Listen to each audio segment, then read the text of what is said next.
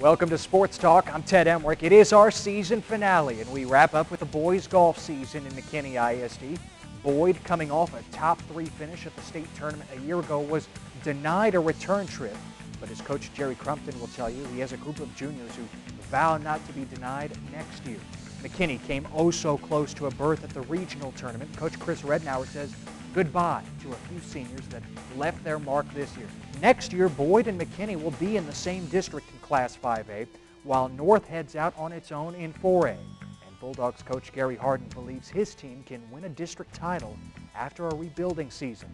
Also, McKinney girls golf coach Jeff Jacobson stops by to look back on a year of growth for the Lionettes.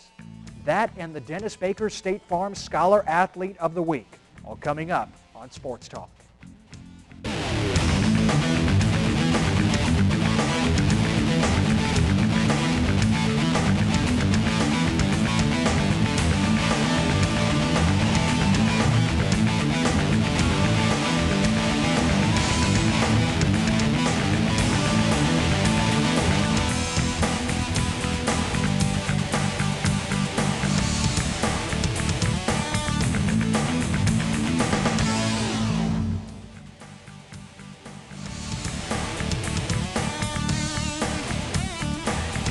The Boyd Broncos turned in another fine season under coach Jerry Crumpton, who joins us now. And Jerry, your team runs away with the district title yet again, another top five finish at the regional tournament. The only difference this year was you didn't qualify for the state tournament. Uh, now that you can look back on it, how do you evaluate this season?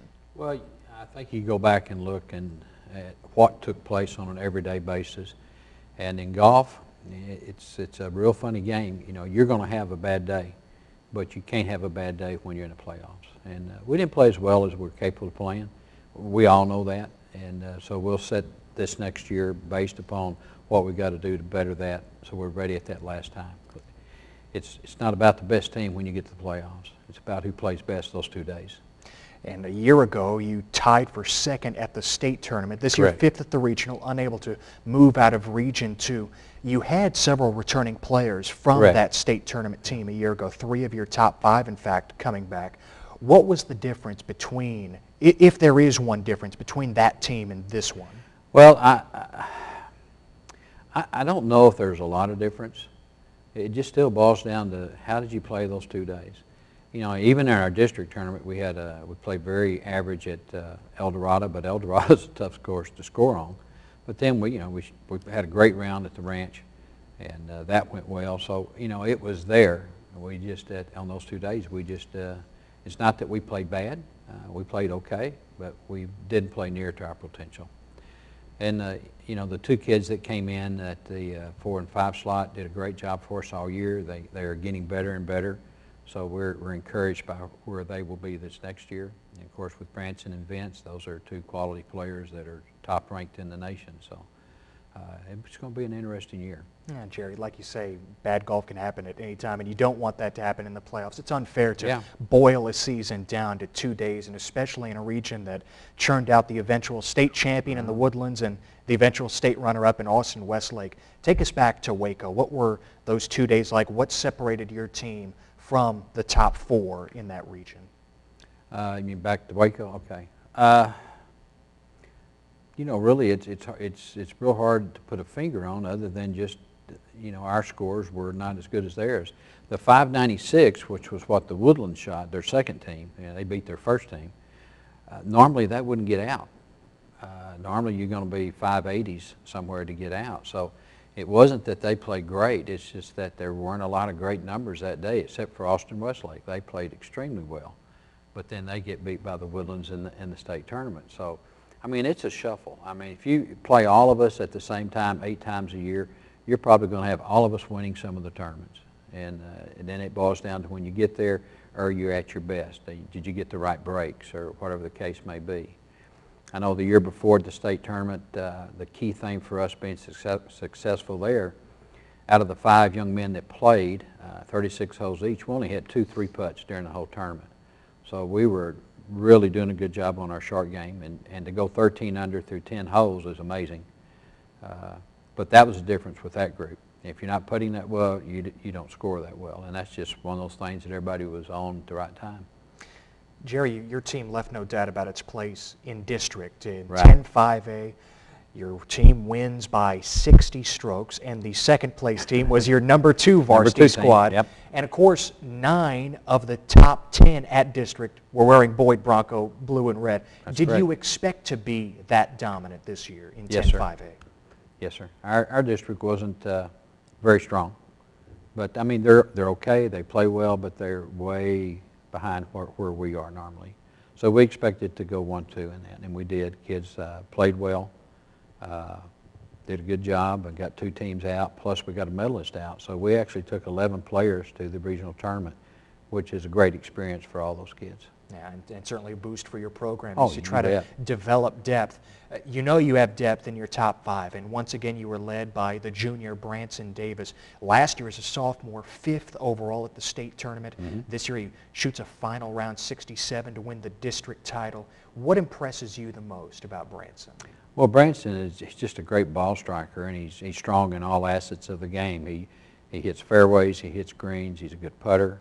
And, uh, I mean, if you'd watched him in the, at the ranch, I mean, he was throwing darts all day. He actually had it seven under at one time before we got stopped for play, and we had to come back a week later and finish the four holes. And he lost a couple of shots there, but he, he's an outstanding young player. Meanwhile, another junior, uh, Vincent Whaley, third district. He tied for 16th at the regional tournament. Uh, I remember Vincent enjoyed tremendous success last year as a sophomore, Yeah. like just like Branson, a top 10 finish at state for Vincent. But this year, he was your most improved player. Yes. How did he improve? Well, I I think what happened to Vince, and it happened about the mid-time last year, he began to grow. Now, when you get a big growth spurt in golf, a lot of things change with your swing and your club selections and distance and all the other things that go with it. And it took him a little while to adjust, and towards the end of that last year, he did. And this year, he's gotten stronger along with the growth, and he's playing great golf. He's, like I said, he's one of the top players in the nation. He's playing at the Thunderbird this week, uh, this week, so we'll see how he goes there. Uh, but I suspect he'll play pretty well. Senior Carson Stepler certainly made his mark on your program. He was second at the Yes. district tournament this year, tied for 18th at the regional. Your lone senior in your top five. What are you going to miss about Carson? Well, Carson, you're going to miss his leadership. Uh, I mean, he is an outstanding young man. He's a great scholar. Uh, he's going to University of Texas to major in engineering. He turned down uh, a golf scholarship to go play at the Colorado Mines.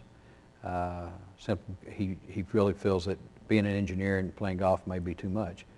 But uh, if you had to copy what you thought was the best you could put out there, Carson Stepler would be that in, in all areas. He just does everything you ask him to do. He's a great leader, great player, and I'm going to really miss him.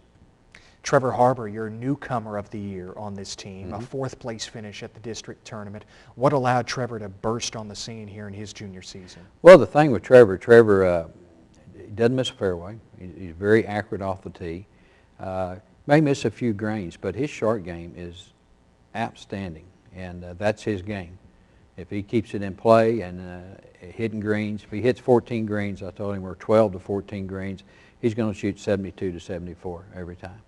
If he goes out and hits seven greens, then it's going to be mid 70s. So with Trevor, as he grows and gets a little stronger, and uh, he's going to be uh, something to deal with next year. He's going to be a good player. And Jerry, there's a common thread here. Junior, junior, junior. Four of your top five Right. players are coming back. Davis, Whaley, Harbor, as well as Dylan Dobbs. Mm-hmm. How does that group capitalize on what they did this year and take a step forward? Well, I think they, pardon me, I think they see where uh, everything kind of came to fulfillment at the end of the year, and they go back, and we hope we all go back and look at, well, what can we do to be better? What are we going to do this summer? Uh, a lot of this is about summer preparation and playing in uh, uh, privatized junior tournaments throughout the state. They need to be doing that all year round because the people we compete against are doing that all year round. So, I mean, if you're going to keep up with the Joneses, then you got to keep up with the Joneses, and that's kind of where we're at, and that's what their thinking is. So it'll be interesting to see how they come through the summer and where they are when we start the year. And now, Jerry, you'll have to keep up with a new set of the Joneses, a new district, Allen, the three Plano schools, as well as McKinney High. Does that change anything for you? Uh, no, not really. Uh, it's a lot more competitive district, which I think will be good for us. Uh, we've been in that district before. Last time we were in it, we uh, won the district and uh, advanced at that point in time.